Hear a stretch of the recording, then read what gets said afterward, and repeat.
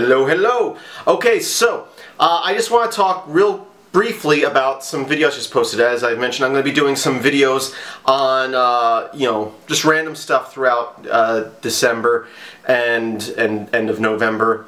And I've already done a few clips on, am I in focus? Am I that better? I don't know. Um, I've already done some clips on some glow effects. Uh, those were quick renders and I'll be doing actual tutorials on those coming up. They're going to be really short videos, just some very basic glow stuff, but I'm going to do them as if you've watched the uh, quick renders I've done already in both uh, the Blender uh, internal renderer and the Cycles renderer. Both are very easy to do. Uh, I feel like the Cycles one looks a little bit nicer, but one of the reasons you would use the internal versus the Cycles renderer is usually it's faster rendering. Uh, so the Blender renderer, the internal renderer, uh, I was getting uh, like 25 frames a second for that particular scene. Uh, 25 seconds per frame is what I meant to say. Um, so for one frame at 1080p, it was rendering out about 20 to 25 seconds for each frame. In the Cycles renderer, it was taking like a minute and a half. So we were looking at five times the length to render it.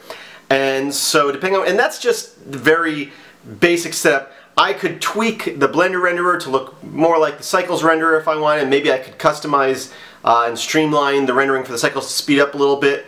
Uh, but just the quick quick rendering that I've done of the two, uh, both of which look good.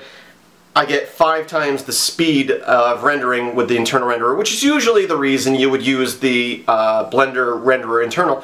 The thing about the Cycles renderer is when you're rendering stuff, if you want photorealism, if you want to make something true to life and make it look truly real, you probably want to go with the Cycles renderer. It's going to be a bit slower, but it's going to be more accurate to real life. Um, I use the internal renderer mostly because I'm not going photorealism with most of the stuff I do. Uh, and and I just want quicker renders, especially since I'm not usually doing still, still stuff, I'm doing video stuff, you know, 24 to 30 frames a second take a while if I'm using the Cycles renderer for a lot of stuff. I am learning more and more with the Cycles renderer. I still haven't dived into it over the last couple of years just because it's not really mm, designed for what I'm doing.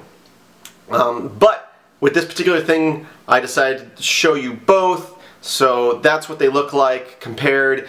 And again, uh, and both of them probably could have been tweaked to look better. Even the, the um, the Cycles renderer, I could have upped the samples a bit, get a little less um, grain to the, the shadows and stuff, but that would have slowed down the rendering even more.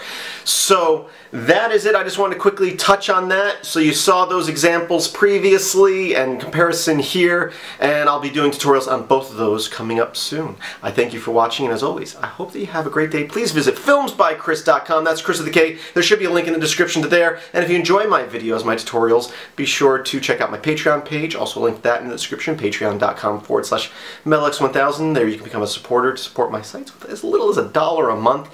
And also check out my second channel, which is primarily on hardware. And starting in January, I'm actually going to be doing a whole lot of videos on uh, different types of displays and uh, showing them with an Arduino and also using them remotely through a web interface with an ESP8266. So be sure to check out my second channel. There's a link to that in the description as well. And again, at filmsbykris.com, you can search through the videos from both my channels. As always, thank you for watching, and again, I hope that you have a great day.